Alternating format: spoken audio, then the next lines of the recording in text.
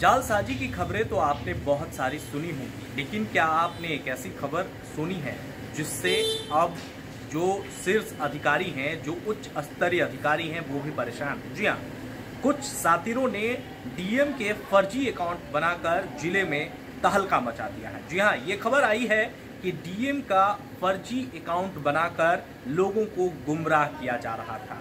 DM के Facebook page से लोगों को ठगा जा रहा था।